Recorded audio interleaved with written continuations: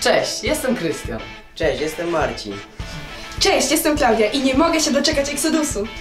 Cześć, jestem Marta. Szczęść Boże, ksiądz Dominik Osłuchowski. Cześć, jestem Julka. Mamy Wielki Post. Jest to czas stawiania nowych pytań i szukania na nie odpowiedzi. Dziś spróbujemy sobie odpowiedzieć na pytanie, czy można usłyszeć głos Pana Boga.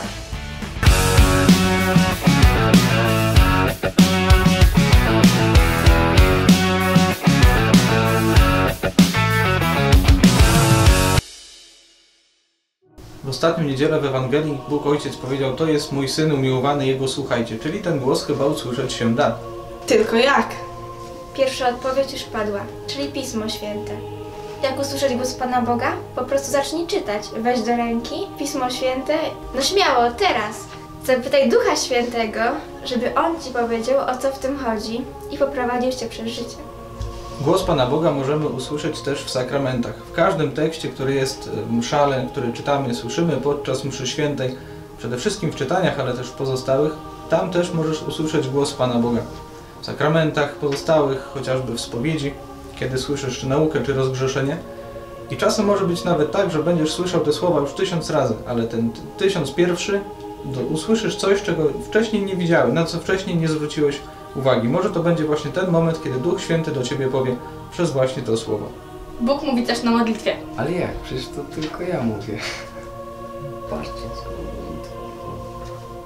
Popatrzcie, skoro modlitwa to spotkanie z kimś, kto mnie kocha, rozmowa z Panem Bogiem, to trzeba dać Mu czas. Bo jeżeli nie damy Panu Bogu czas, o Jezu, nie damy Panu Bogu czas. Jeżeli nie, to nasza modlitwa wygląda mniej więcej tak. Cześć, w ogóle wiesz co się wydarzyło? Byłam w kinie i spotkałam tam K. No, powiedział mi cześć, ja nie wiedziałam co mam z tobą zrobić, ja się czerwoniłam, chyba nawet nic mu nie powiedziałam i teraz nie wiem co mam z tobą zrobić, ale już oglądałam suknie ślubne, bo ja wiedziałam, że to coś z tego będzie, od początku to wiedziałam i ja myślę, że to coś z tego będzie. Czekaj, muszę już iść, cześć. Komentarz chyba zbędny. Daj Panu Bogu czas. Dlaczego? Bo Pan Bóg mówi w ciszy. Ciężko usłyszeć głos Pana Boga, mając włączoną muzykę, oglądając film, będąc aktywnym na Facebooku, Instagramie, Snapchacie. Chcesz usłyszeć głos Pana Boga? Na chwilę to wycisz, wyloguj się do życia. Może w kościele w Twojej miejscowości jest codzienna adoracja Najświętszego Sakramentu. Może jest to w pierwszy piątek, soboty, niedzielę. Znajdź wtedy chwilę, po prostu popatrz, nic nie mów i słuchaj. Pan Bóg mówi też przez innych ludzi. Czy zawsze? Oczywiście, że nie. Ale czasami modlimy się o rozwiązanie problemu, o podpowiedź i przychodzi nam bliska nam osoba, nie wiedząc o tej modlitwie i pomaga nam. Jak rozpoznać, czy to Boże? Wystarczy zadać sobie pytanie, czy jest to dobre, czy nie przynosi zła, czy Jezus zrobiłby tak na moim miejscu. I już. Pan Bóg do nas mówi naprawdę w bardzo różne sposoby. Może jeszcze jakieś znacie, może do Was Pan Bóg powiedział coś w Waszym życiu jeszcze inaczej. Zostawcie to tutaj w komentarzu. Te wszystkie momenty, o których mówiliśmy, też możecie znaleźć na Exodusie. Zobaczcie zresztą sami.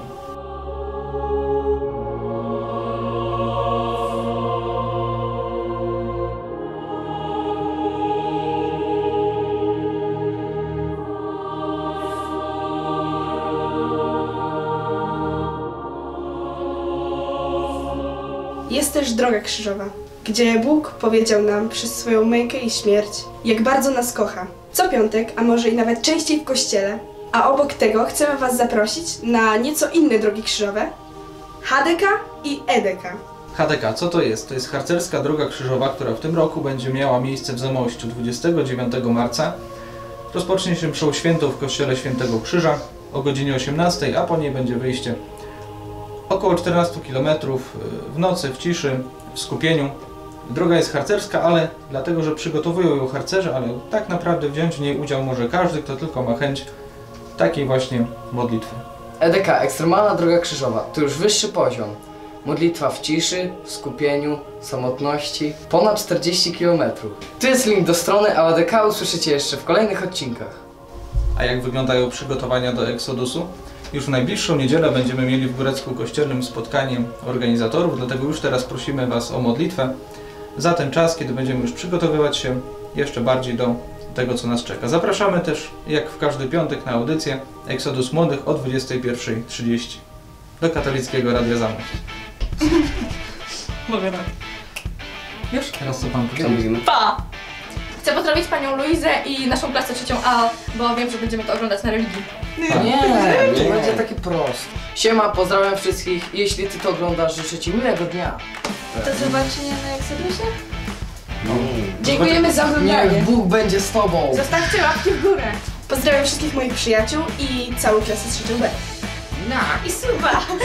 I dzwoneczek! Serdecznie pozdrawiam nauczycieli z gimnazjum na rolu. Dziękuję Marta za pozdrowienia. Ja chciałbym pozdrowić parafie, z których przyjechaliśmy, czyli parafię Lipską i parafię Płazów, a szkoła jest parafii Narod. Też pozdrawiam. Zasubskrybuj, żeby być na bieżąco. Nie. Niech będzie podpalony. Amen. Pa, pa!